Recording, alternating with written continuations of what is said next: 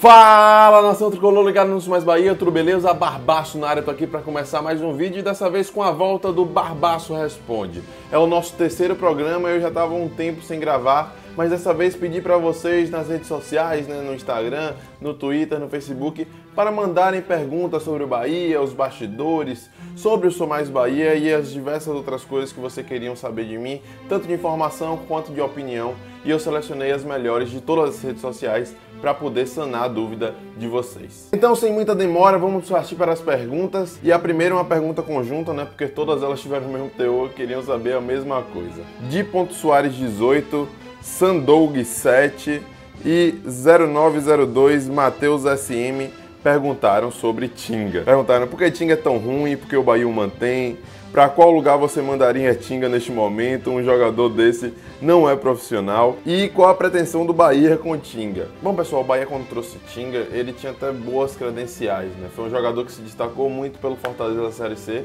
e atuando por um time na Série C do Nordeste, conseguiu ser convocado para a seleção brasileira. Então ele vinha em um bom momento e o Bahia resolveu contratar o atleta junto ao Grêmio, né, que é o clube que detém o passe dele. Só que aos poucos Xinga foi mostrando que tinha diversas limitações. Ano passado ele até chegou a jogar certinho na esquerda, né, na lateral esquerda, quando o Bahia tinha que botar algum jogador ali improvisado, porque Moisés não estava jogando, João Paulo também estava machucado. Então o Tinga atuou em duas oportunidades na esquerda e se saiu bem. Só que esse ano realmente foi a gota d'água. O Bahia trouxe o Wellington Silva para lateral direita e já tinha Eduardo, né? Conseguiu renovar com o Eduardo também. Só que nenhum dos dois puderam ir para a Florida Cup. O Wellington Silva porque ainda está recuperando a forma física e Eduardo que acabou tendo visto vencido. E aí ele teve que atuar lá e foi a gota d'água para a torcida esculhambar de vez o cara e ele evidenciar a sua ruindade. Mas eu acho que não é uma coisa a se preocupar, né? Claro que Evaristo falava que ter um jogador ruim no elenco, o ruim é que uma hora você vai ter que usá-lo. E isso realmente pode acontecer, né? Caso Wellington Silva e Eduardo acabem não podendo jogar, o Bahia pode ter que botar tinga. Mas isso não será um problema, o Bahia já está procurando negociar o jogador. E o Fortaleza manifestou interesse de contratar o atleta novamente. Essa negociação já está bem encaminhada e Tinga não deve continuar no Bahia para a alegria de toda a nação tricolor. Por sinal, eu queria reiterar aqui que acredito eu que o Bahia está muito bem servido na direita, né? Eduardo e Wellington Silva são dois ótimos jogadores e que devem tomar conta ali direitinho da direita, vai ser uma briga muito boa entre os dois. A segunda pergunta veio lá do Twitter e foi do Fabiano, BBMP. Ele perguntou qual a sua maior expectativa para o primeiro semestre? Armeiro dançando em Bavi ou Matheus Salles pondo Dátulo e companhia no banco? É, foram duas ótimas contratações que o Bahia fez. Armeiro, um jogador rodado na Europa, jogou por grandes equipes pela seleção colombiana. E Matheus Salles, uma grande revelação no futebol brasileiro que a torcida do Palmeiras gosta bastante. E o Fluminense tentou contratar, mas o Bahia deu aquele famoso bypass, aquele chapéu e conseguiu trazer o jogador. E a minha maior expectativa, sem sombra de dúvidas, é para ver Armeiro metendo o Armeiration no Bavi, seja ele fazendo gol ou qualquer outro jogador fazendo gol. Vai ser muito lindo, né? A gente já presenciou o Bavi do Creu, aquele de Elias, Avni, Rogério. Já presenciou o Bavi do Chupa que é de uva. Já teve Bavi do Lepo Lepo. Então o Bavi do Armeiration vai ser sensacional. Tô muito na expectativa para que tenha Bavi, que o Bahia possa brocar o vice para Armeiro meter a dança dele e escolher na cara dos vicentinos. O Rebolation, som, Rebolation, o Rebolation, som, Rebolation. Agora vamos para uma pergunta do YouTube. O Cazuza Souza Cazuza?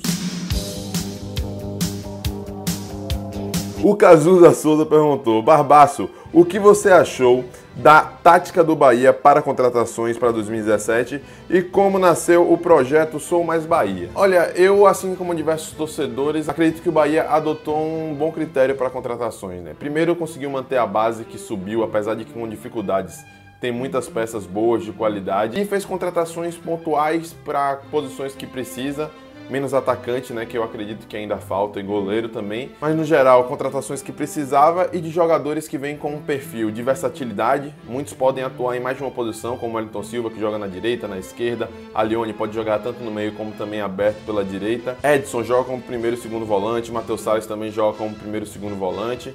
E além dessa versatilidade que é muito importante, principalmente para um campeonato grande, que pode ter lesão e tudo mais, tem também o perfil dos caras que querem, almejam algo a mais na carreira. A Lione se destacou muito pelo Vélez, foi pro Palmeiras, teve uma chance aqui, outra ali, mas não chegou a explodir como esperavam, e no Bahia está tendo a oportunidade de voltar a mostrar seu grande futebol.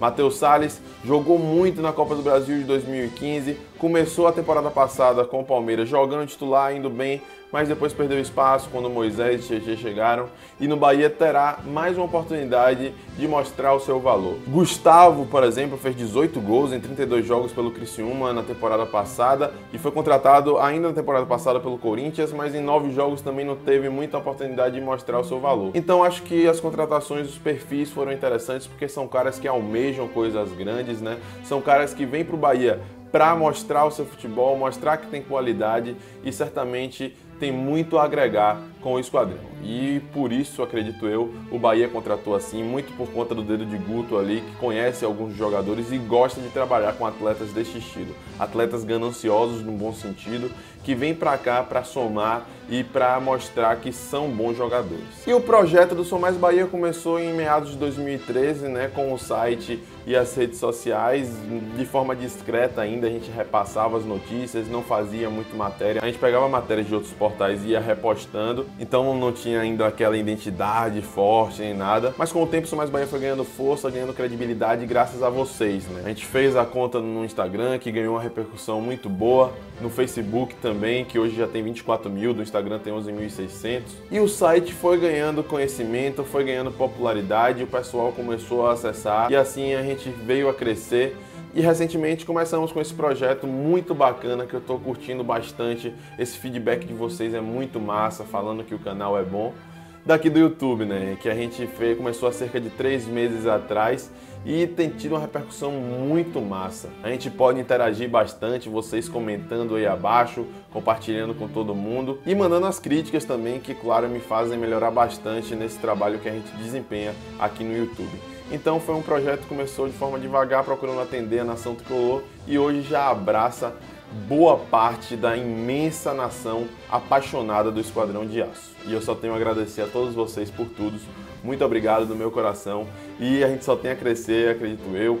A gente tem alguns projetos em mente aí aqui para o YouTube e também para as outras redes sociais. Então fiquem ligados que podem vir novidades por aí. A próxima pergunta vem lá do nosso grupo de WhatsApp. Quem mandou foi Eduardo. Ele perguntou: na sua opinião, qual o principal fator para a falta de gols do Bahia? Esquema ou peças? Eduardo, que é um grande fã de feijão, sempre fala isso no grupo.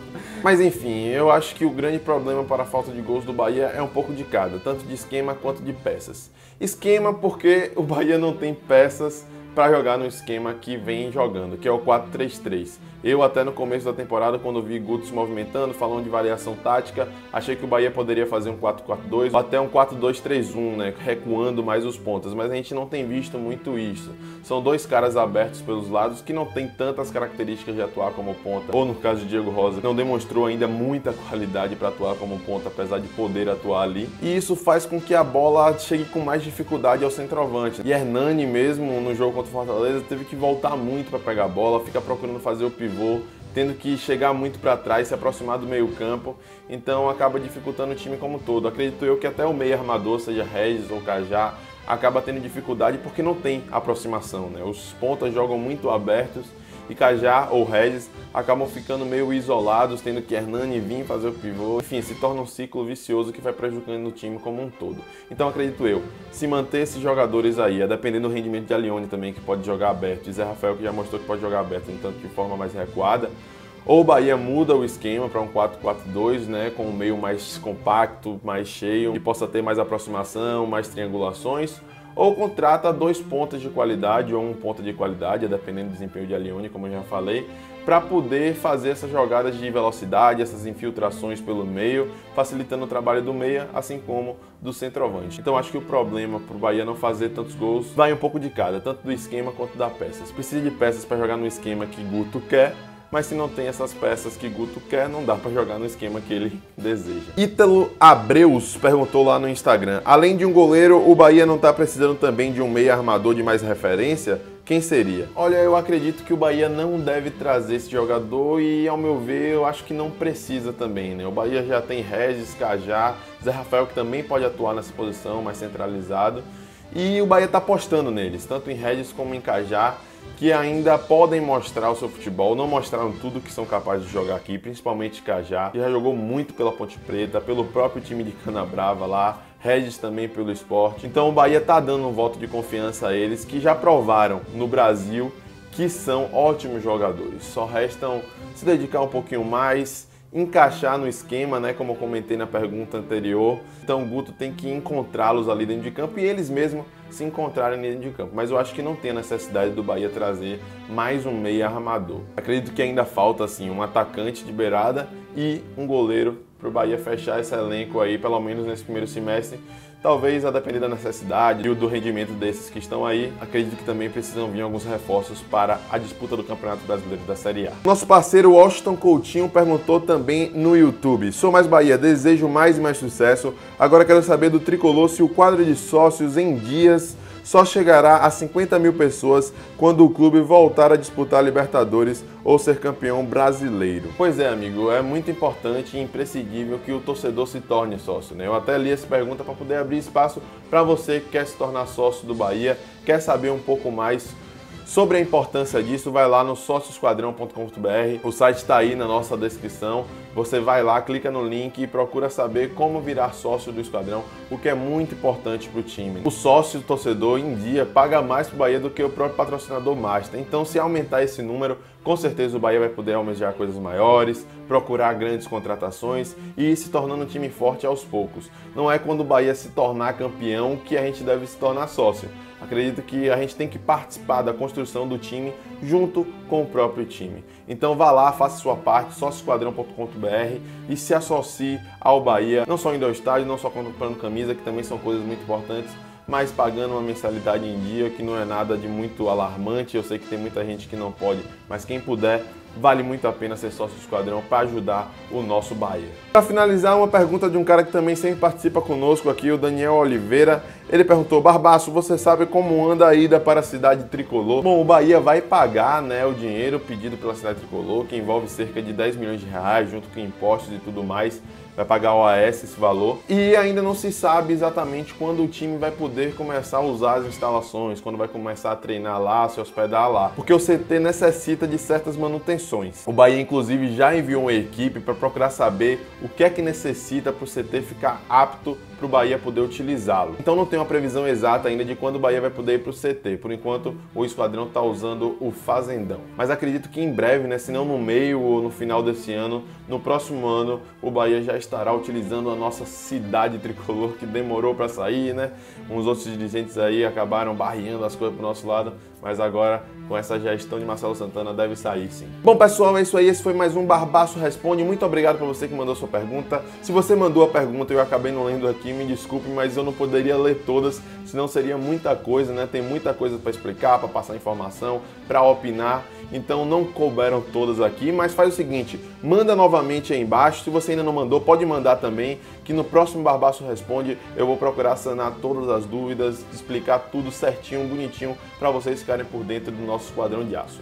Não deixe de acompanhar o nosso site, somaisbahia.com, de acompanhar a gente nas nossas redes sociais que estão todas aí abaixo. E se inscreve no canal se você ainda não é inscrito, né, rapaz? Também deixa o seu like e compartilha com geral. É isso, galera. Muito obrigado. Tamo junto. Eu sou Mais Bahia, eu sou de primeira. E você?